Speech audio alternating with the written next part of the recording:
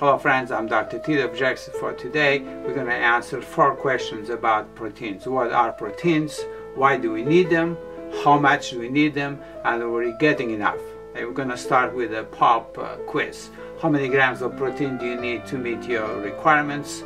40, 60, 80, 120 grams a day, and how many grams the average American typically eats. Again, 40, 60, 80, 120, 150 grams. We'll answer those questions at the end of this video.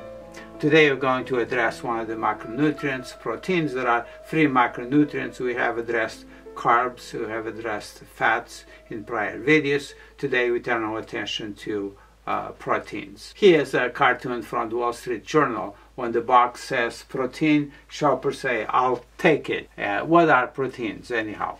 The word protein comes from the Greek protos, meaning first, showing its high ranking in the human uh, nutrition.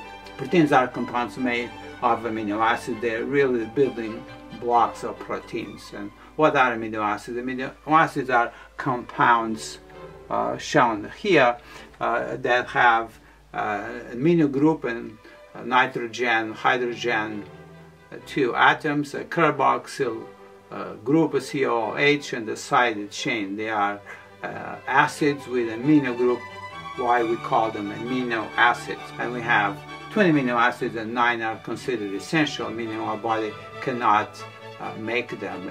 It cannot synthesize them. We need to get them from our food. A bunch of amino acids together form peptides and these peptides form proteins and they are synthesized in a part of our cells called uh, ribosomes. Uh, what do they do in our bodies? Uh, they are vital to life. They are 60% of our body mass and they are uh, extremely important in our defenses. Immunoglobulins or antibodies that help us fight bacteria, uh, viruses, cancer cells. They're part of our immune uh, uh, system. They are very important on, on transporting uh, molecules that otherwise could not be moved without them uh, because they're insoluble in the blood.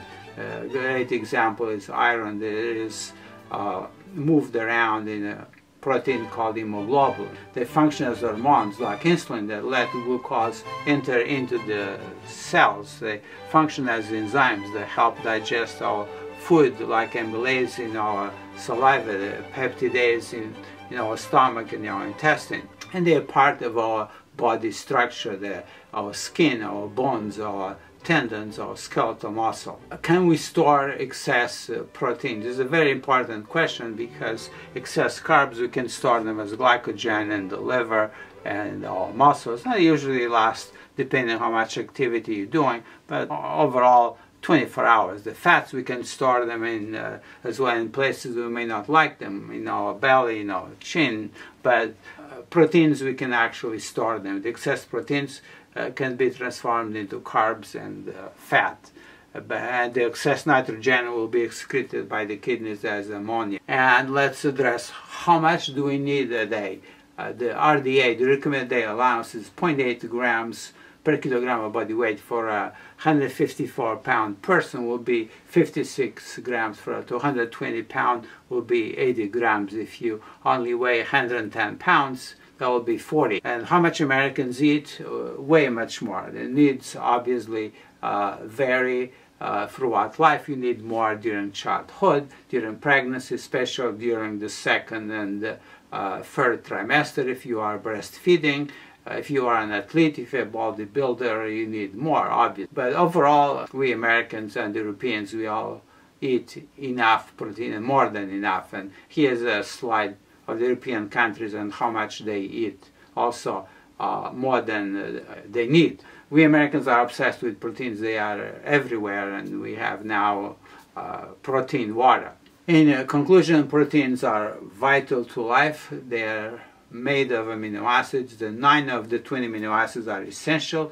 We need to get them from our food. Americans are justifiably confused about how much they need and uh, uh, from what sources. In general, we get more than we need. And there is room to change from animal to plant proteins providing more fiber as well. If you are interested in uh, learning more about fiber look at my prior uh, videos on the carbs and the cholesterol. And it's uh, quiz time.